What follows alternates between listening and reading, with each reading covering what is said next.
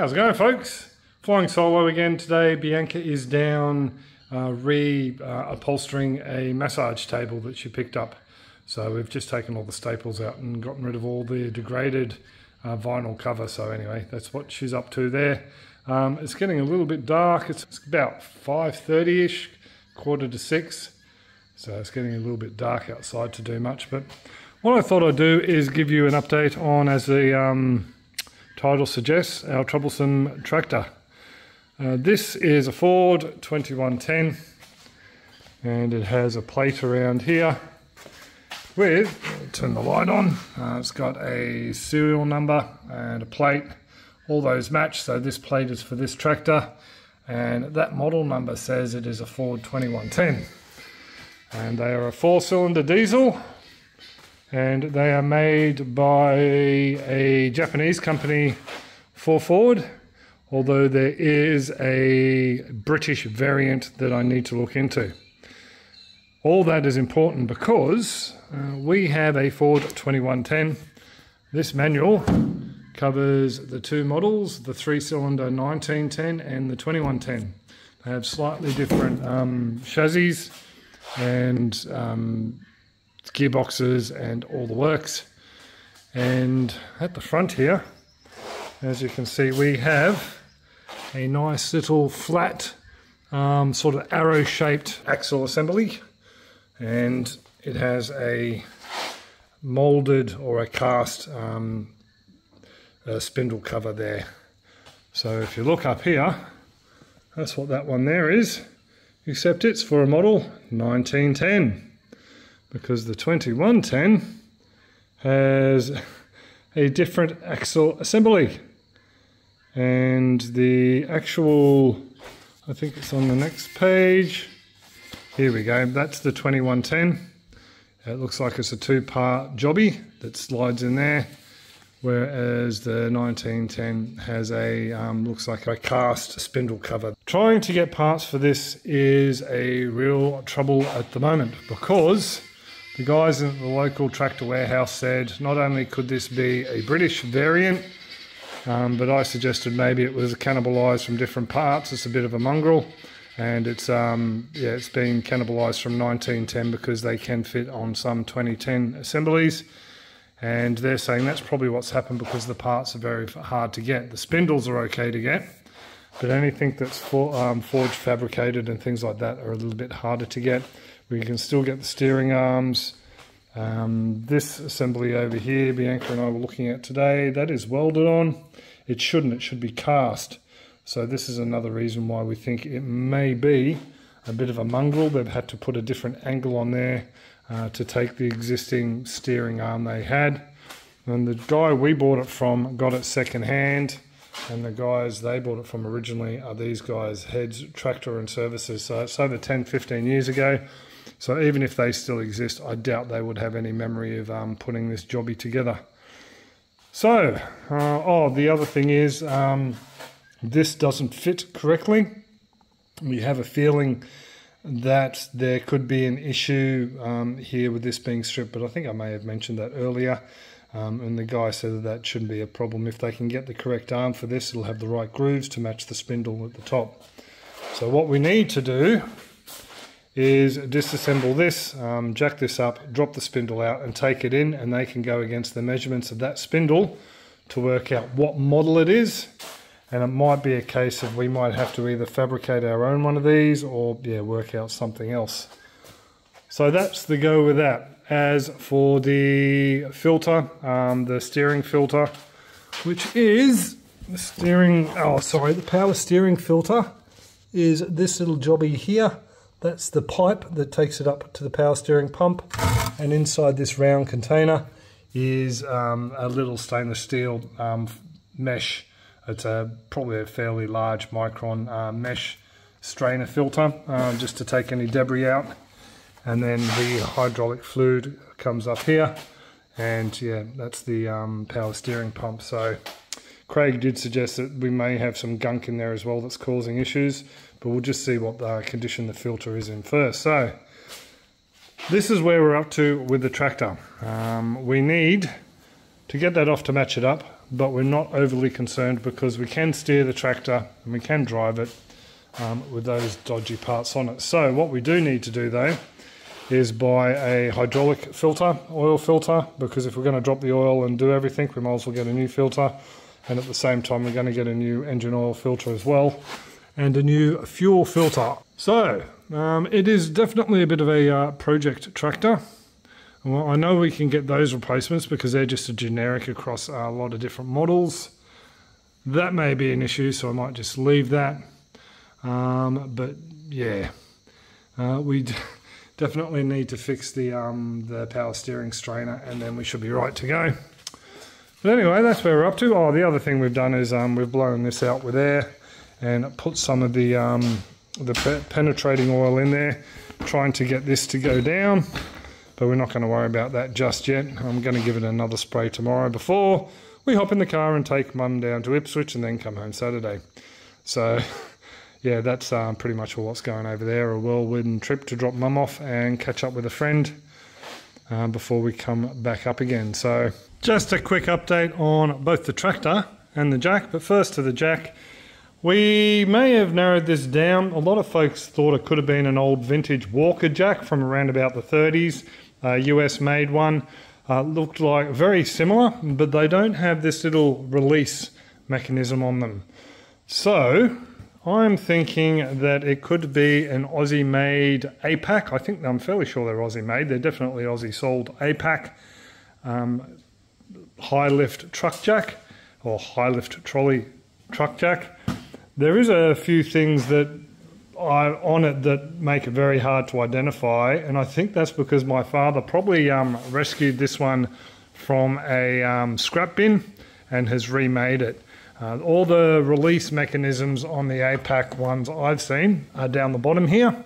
And where the lift arm attaches is actually on a side that is built up on a bit of a slope and then goes down. And there's also a cover over the top of the mechanism here. Now, uh, Brian, a supporter in today's hangout. G'day, Brian. Thank you very much to everyone who came along. Craftily Recycles, Dave, Brian, and Michael P. Thank you very much, folks. Always love hanging out with you guys. Um, yeah, Brian pointed out the Dad's probably taken the cover off because there's two separate different types of metal on these little rails here and I dare say that Dad has added them back on. There's a bit of a weld job there and there's a treadle piece missing here because I'm sure there was like a four-footed treadle piece off the side. So I'll be keeping an eye out for that when I go and clean out Dad's place see if we can find it. But yeah it, we're, we're thinking it could be an APAC jack. So if anyone can help um, the reason why I want information on this is because I want to uh, repair it. So it is something that we can use and because yeah, it will definitely come in handy lifting up the front end of tractors and the rear ends and things like that. So anyone who can help us here in Australia, really appreciate it, or anywhere else where APACs are available. Now on to the tractor. Bianca and I headed south and dropped off Mum, and we missed our window of opportunity to see a tractor wreckers. I thought they were closer to Ipswich than what they were. They're actually at the foot of the hill uh, before Toowoomba. Um, so yeah, we, we didn't get out to the tractor wreckers. Already ordered the filters for the hydraulic and the oil, uh, just the engine oil filters. And those two there, those white jobbies, and the fuel fuel filter. I'm fairly sure the old owner said that he'd actually swapped that over very recently probably with these guys as well. But if we've got um, hydraulic issues, I do think we need to um, replace the hydraulic oil. Yeah, that's where we stand with this. Back to Rob a few days ago. Oh, I'll show you a few other bits and pieces we've been up to. Out the back of the shed here, I did a whole heap of line trimming. Oh, hello, guinea fowl. I did a whole heap of line trimming because we've seen a couple of red bellies around. So we want to keep the grass nice and low where we and Jack walk around. So yeah, it wasn't overly tall, probably about oh, uh, tufts like that in there, probably about half a foot tall with some of the lower lying weeds. But yeah, I just did all this area here and down around the chicken coop. So that's all nice and clear around the rainwater tank because the chickens spend a lot of time there. And just around here where we come out the back to blow out stuff and bits and pieces like that. I also did the rest of the um, area in front of the small shed where B was working as well and some of the guinea fowl are already up and roosting. Uh, we'll give you a quick look at uh, Bianca's bookshelf. While I'm down there, I'll grab something that an awesome supporter sent us. What are you doing? Unpacking my bookcase. Unpacking a bookcase. So that's the finished bookcase. Yep. And I'll turn the light on for this so you can see a bit better. Turned out really good. There's a couple of like lighter brown areas you can see there, but I think that really adds to it. I think it adds to it. Yeah, it's probably a little bit darker than what I wanted, but oh well, lesson learnt. Yeah. So I still like it. looks pretty cool. Yeah. Yeah. I'm off to show off the other thing. Sorry. And on to project number two. Oh yeah, I've already mentioned that you're doing the um the massage table. Yeah. I'll give a quick look at that. So we're not recording this one, um, but in that bag is a whole heap of flaky, fluffy, decomposing vinyl. Disgusting. Absolutely disgusting. So and we've stripped that off, and Bianca's got the legs High five still just a, just around the corner there. And the foam, Foam's still good. foam's still good. So a very light ply, Yep. but um, yeah, B's got some um, proper vinyl covering thick stuff. Yeah. Um, where is it? There we go, down there, black stuff. The. And there's the headrest, it needs to be redone. Um, but I'm off to um, do this now, show the folks that. Okay. Bye. Bye. So what we got from Mark was something that we've mentioned in a video. Um, I'm fairly sure he commented on it and pointed us in the right direction um, and told us about this company here. Where are we? Spark Metal Designs, you can read upside down hopefully.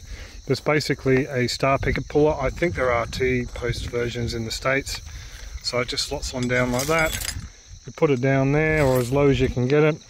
You whack this onto your bucket or your um, high lift jack if you want to complicate it or the uh, three point hitch of your tractor and you just lift it out.